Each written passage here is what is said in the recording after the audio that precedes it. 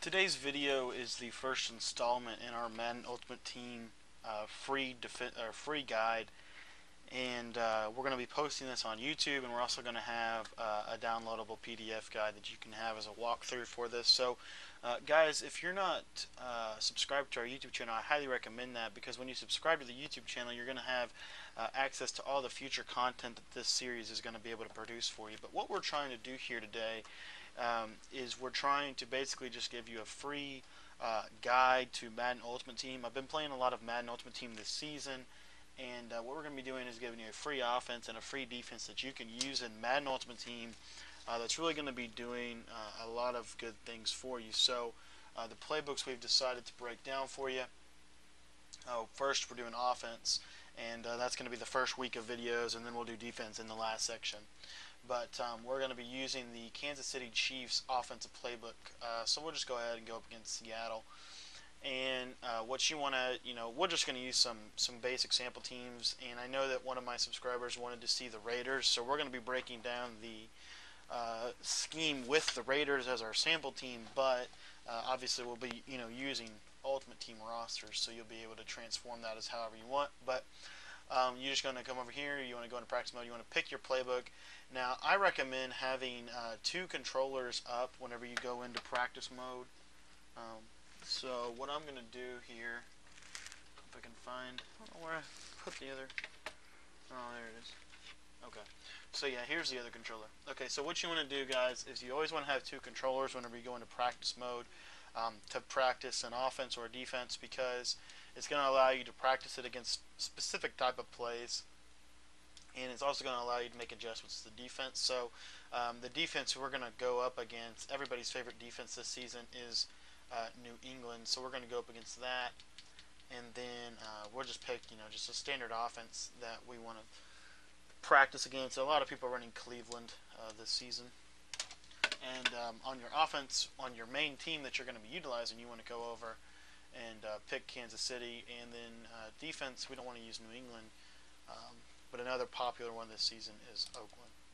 Okay, so now, now that we have that set up, uh, once the screen loads up, we're going to show you uh, one of our first concepts and uh, and talk a little bit about it. But the base for this uh, guide is the shotgun bunch weak. That's the base formation, and um, what we do, how we teach this, is we have five kind of key components to your offense. The first is uh, a base offense, and that's an offense that you can use to uh, do a good job. Pretty much, a, it's going to give you a base man beater, a base zone beater, a base running set, a base everything. That's your base type of offense. Uh, the second type of offense we like to have in our arsenal is uh, a red zone offense. This is an offense you're going to want to use inside like the 20 yard line and and normally 20 yard line and in and that and then you're going to use that offense to to basically do um, to basically do what your 20 to 20 offense, which is your base offense, couldn't do, and that's score uh, inside the 20 yard line. So you know, oftentimes we like to use I formations and, and things like that. So uh, I want to walk you through this real quick. So our base formation is the shotgun bunch set, as you can see here. This is the basic principle.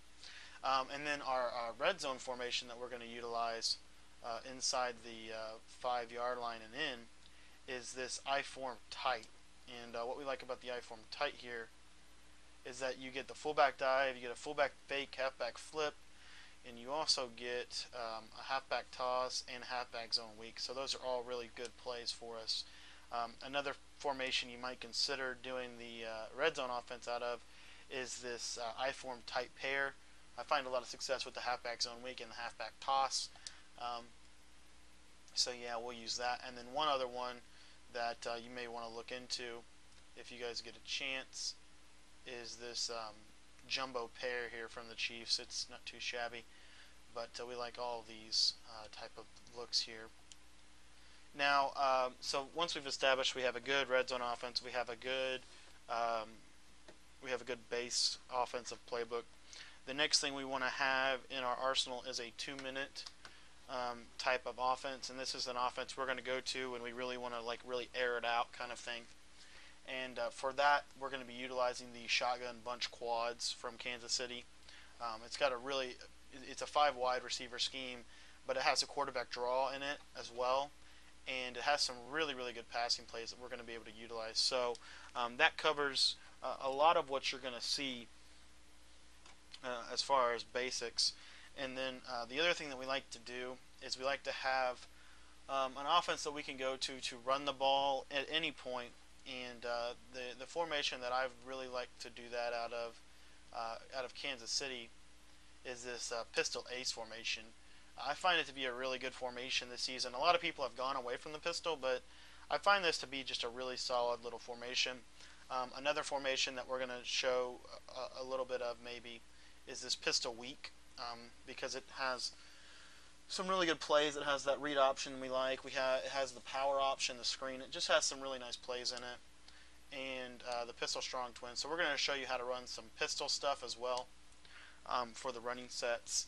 Uh, so we have running set. We have a two-minute offense. We have a red zone set, and we have our base set. Now within our base set, it's base personnel.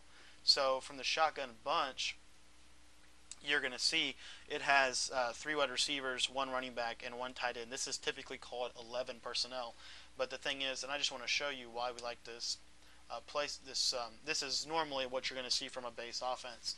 It's because we can get to several different formations. So we have um, the shotgun trips tight end, which we can utilize um, as a basic as a basic zone beating type of formation. We're going to go to uh, when we want to beat zone coverage. We have um, the shotgun empty chief that we can go to, and this is a good formation to use against base uh, base type of blitzing defenses. If they're trying to set up a lot of pressure, you're you, are reading pressure, then you can go to this uh, little empty chief empty chief formation, and it's going to allow you to beat the pressure. So that's what we're looking for. So the base formation actually encompasses a base offensive scheme that's going to have a three-headed rushing attack, a zone beater, a man beater, a blitz beater, and then a base play that you can come out in every time. So, so that's what we're saying. So I know that a lot of a lot of times in the past I've preached this five step for success, and uh, kind of adopted it from S Gibbs and MaddenTips.com. Um, and what they teach is that you want to have a base zone beater, a base man beater, a base blitz beater, a base three-headed rushing attack, and a base play from all types of different uh, from uh, from your basic scheme, right? We're going to teach it a little bit differently. We're going to have that, but then we're also going to have uh, heavy running sets that we're going to be able to use. We're going to have uh, two-minute type of offenses where we're going to really air it out and try to get down the field quickly. And then um, the the fourth one that we talked about, uh, like I said, that base running set, and then we're going to have a nice base red zone offense. It's a specific type of offense we're going to utilize in the red zone, and the, the whole idea there is trying to be able to, to score in a confined space.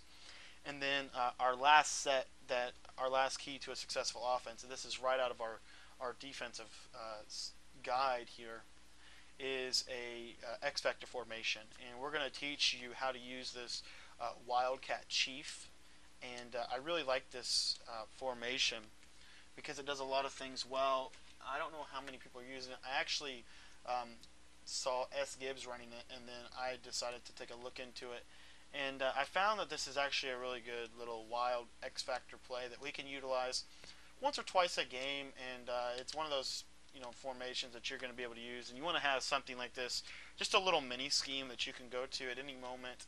And it allows you to really do a lot of cool things. It's kind of a power scheme. And uh, the Wildcat in this season does a really good job. So uh, I am looking forward to that. Uh, because again, this is just like one or two plays every game that you're going to want to use this Wildcat set um, but it does do a nice job. So that's a little bit of an introduction into what we're going to be doing, and that's what the videos following are going to teach you. Um, we're going to start out with uh, the base offense and work our way through. Um, now, the you know every play breakdown is going to be a video, so it is going to be a little bit of a long process. But I think over the course of time, we're going to be able to do uh, and put together a really nice little uh, uh, guide for you guys. Now, uh, one of the most important things when you're going through this guide is to have uh, a notepad or something there to be able to take notes on what the video says because we're going to give you a print guide but the print guide is um, designed to be more of like a reference sheet and so it's going to be a lot of shorthand a lot of quick notes a lot of basic concepts uh, mixed in and it's designed to show you kind of what a real uh, guide is going to be like. So uh, with that in mind, guys, it's really important that you um, do have uh, you know your computer or your notes section open on your phone so that as I'm kind of talking through these things, you can look at keys and different things that you're going to want to have uh, when running these things. So uh, I hope you really enjoy this series. It's kind of the culmination uh, of what we've been doing in Madden 16 this season, and I'm really excited about it because I think that it's going to have a lot of value to you guys. Again, this is going to be a completely free product.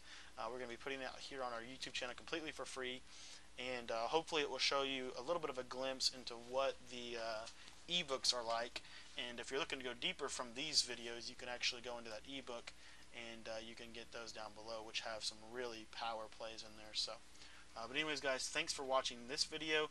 And uh, guys, again, the only thing that I ask you to do uh, today is I just ask that you subscribe to our YouTube channel if you if you uh, if you have not already, um, because it's going to give you access to um, the entire ebook.